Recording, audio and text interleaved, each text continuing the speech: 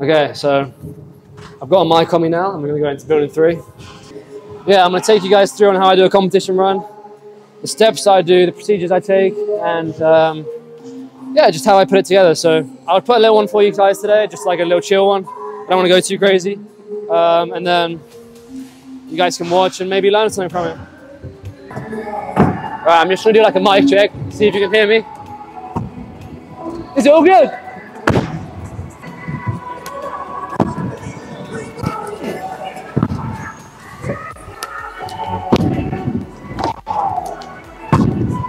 Um, I just did a line somewhere to warm up. This park is quite easy to do a comp run in, purely just because there's a good box, good step up, good quarters, good street. You know, you can add the diversity, the flow, the transfers, the big tricks, the difficulty, all of that stuff, all in this park.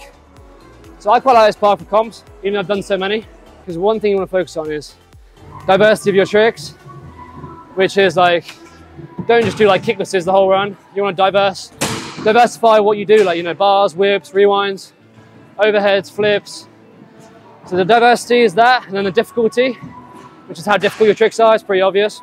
Um, and then you want to do like the flow, so you want to flow, transfer, um, you know, get around the park nice. You know, don't just stop at the top of the ramp and sit around. You want to like make sure you're always airing, always doing tricks. And then consistency is the next one, which is basically just like landing every single one of your tricks. Yeah, so obviously if you if you step a foot, it's not going to be good. So you want to keep keep on your scooter, stay styled. Um, don't do tricks that are too difficult, like so you don't fall off. Do you know what I mean? Stay on the scooter, and then um, yeah. So that's really the main pillars to focus on, and basically look at where you're most comfortable. So where that's the box, the air, some sort of transfer you're most comfortable with, and you want to start there, and then build the run from that. I'll show you what I'll do to start off with, right? So I'm going to start off on the box because that's where you can hit the biggest trick, most difficult, most diverse. Okay, so first you want to figure out your line. That's the first and most important thing, is the line. So before you do any tricks, you just do the line, as I'm doing now. Make sure it feels comfortable, make sure it feels chill, and then you can add tricks to it. And you can just keep adding. So you see the line I'm doing now? I'm doing some transfers, doing some big airs, I'm doing some difficult lines and unique lines. I'm basically just staying flowing. That's what you want to do.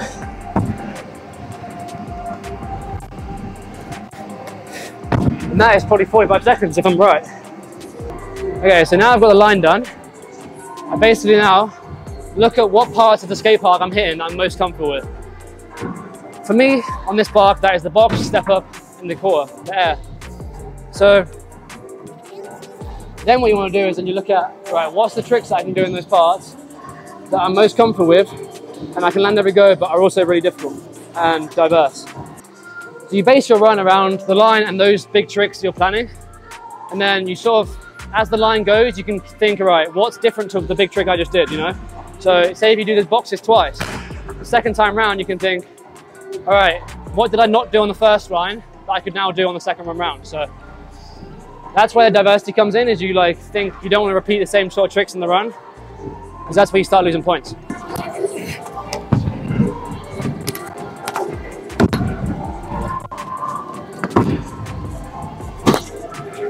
Oh! So that's just an example of one box line that I'll do. Um, and for example, the second time I go around, I'll do different tricks, like maybe a different flip combo or a different 360 combo, or a different straight trick, like a rewind or a bar combo. That's really where you want to do is focus on the big tricks you want to do, and then use the little ones around it to be different and be diverse.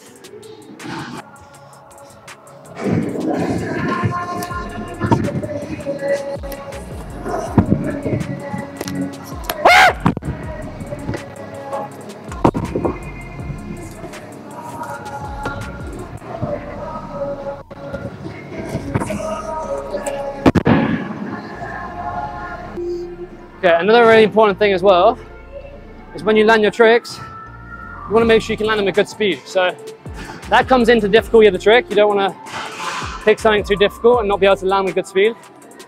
You want to pick something within your skill level and you want to land so you're able to have enough speed to get into the next trick.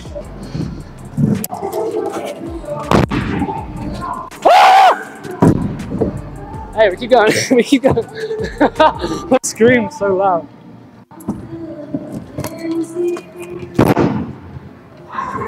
Another thing I'll mention with runs as well, which goes into the diversity bracket, is if there's some good street in your park you're riding, like here, there's a, there's a good rail, good ledge.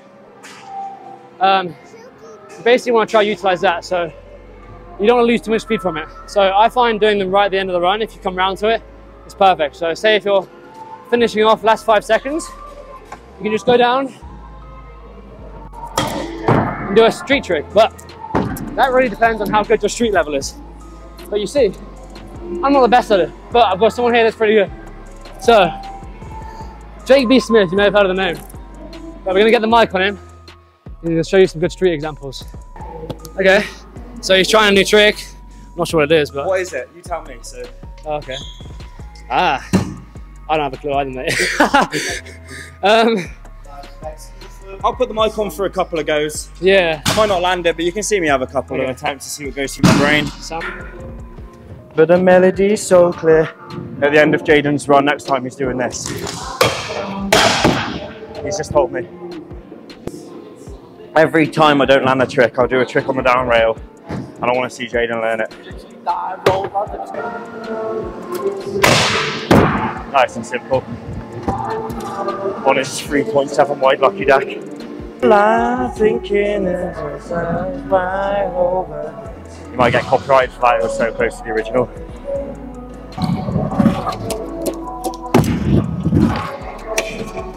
Oh my god, that was a full bar! Ah! Oh, this is down rail again. Live. Oh, okay, it's happening though. I figured I need to throw the start a bit quicker. It's so annoyingly easy with a half bar.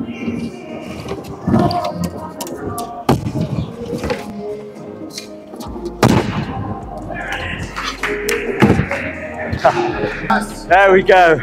I've wanted that for ages. There we go. Back to Jayden. Okay guys, Indy Clayson checking in. Jayden's obviously realised that he's not the top dog. He's passed it to someone who he believes that is. Okay, right, uh, I'm gonna start off. I'm gonna try a little park trick and we'll go for a 360 like full lunges downhill over the box. We'll come down and, how is that not a park trick lad? Have you got a problem? See me on the box. Right, and then we'll come back, hit the rail, maybe the ledge, incorporate that into the, the street run. Obviously, we want to be diverse, we want to be versatile.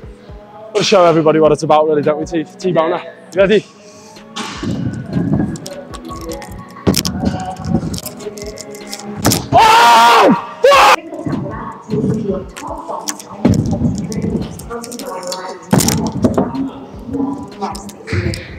We'll just pop a little combination. Oh shit. That's exactly how you... See the thing is, well, my brain stopped working so do a bar twist. Yeah, there you go, yeah, yeah. Yeah, I know it's hard mate, you've got to be top dog to be able to do it, but it's what it is.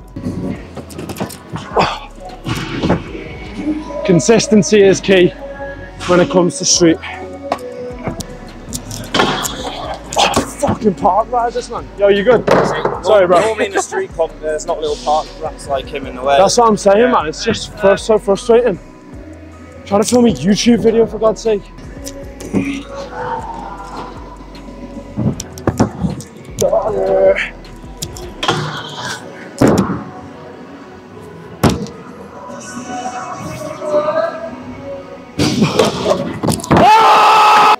Casualty. Jayden Sharman down. Can we get a clean up on aisle four? Clean up for daddy! Right, we're in. We're linking it up. Jamin Chard. Jamin Chardon, get your notepad.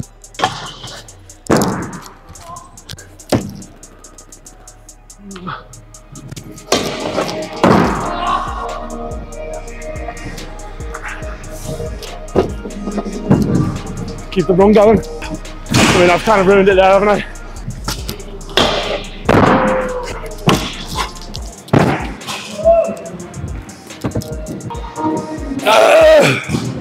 All right.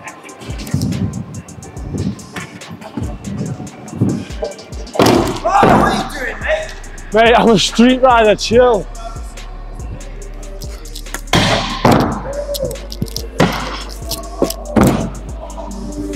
Oh! Smack my elbow. Why don't you put a run together for me as a par- from a park rider's perspective? And I'll do it as a street rider.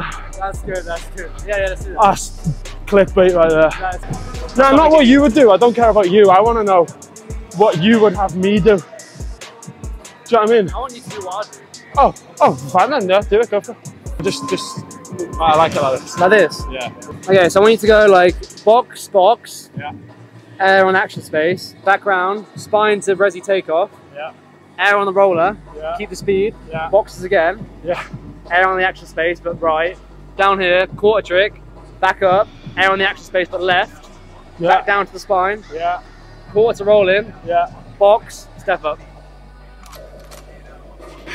I might need you to just start calling random tricks because I think I'm going to run out. All right. No, I've got the stamina, that best believe. Yeah, ask you.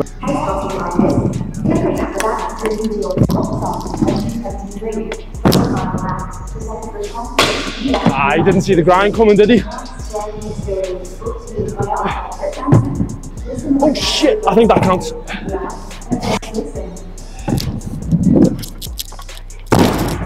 We'll take that. I'm cheating with the grinds, but that's oh shit! This is so much speed. Oh, the boxes. Oh shit. That's okay. We're coming in. Oh shit. I'm running again. I've run out of tricks.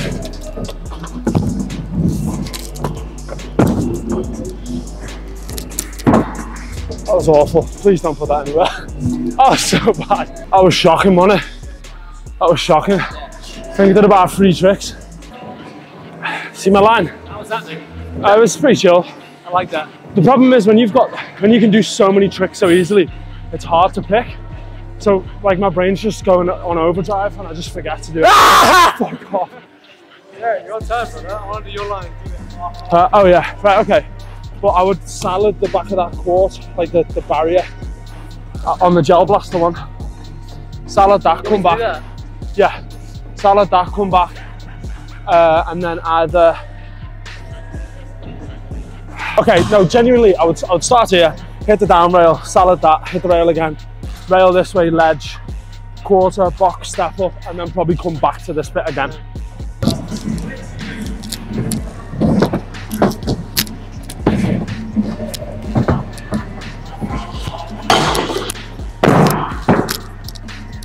This way.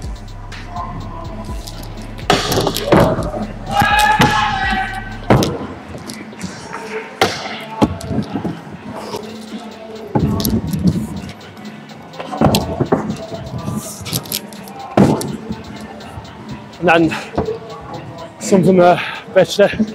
All right. So Indy's call me the street line, and it's not that bad. Not as bad as I thought. But I'm just bugging about this, this like banister stool. So I'm gonna have a little check it out and just see what's going on. Yeah, I got that.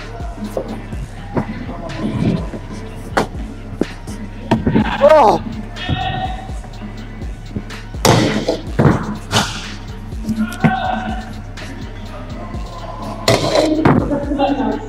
Ledge.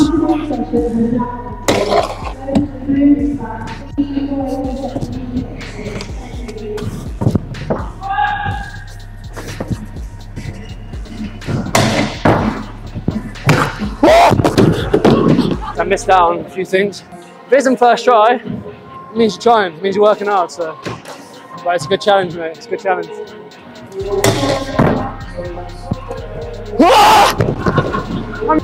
Ah! I was so close!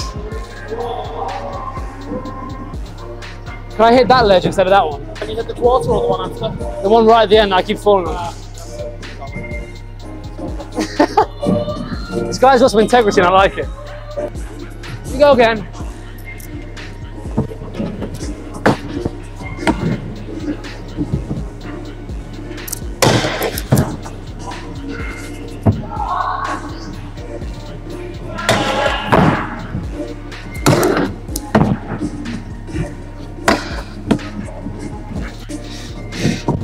This chill. Like, I'm good here.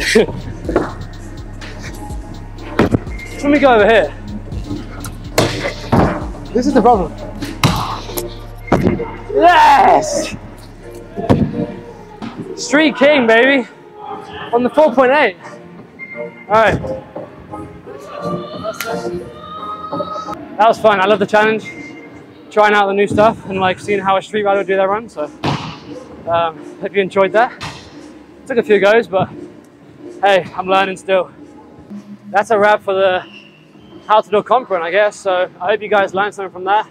Um, I want a big shout out to Indy and Jake for featuring and like having a laugh, and uh, especially Indy for challenging me to do that street run. So uh, legends. But yeah, so I'm I hope the competition information was useful. Implement it in some of your runs that you've got coming up. And yeah, I think in the future I'll definitely go more in depth in how I deal with the pressure and stuff like that. But for now, that's just like the basics and the pillars to uh, cover when you're thinking of a run.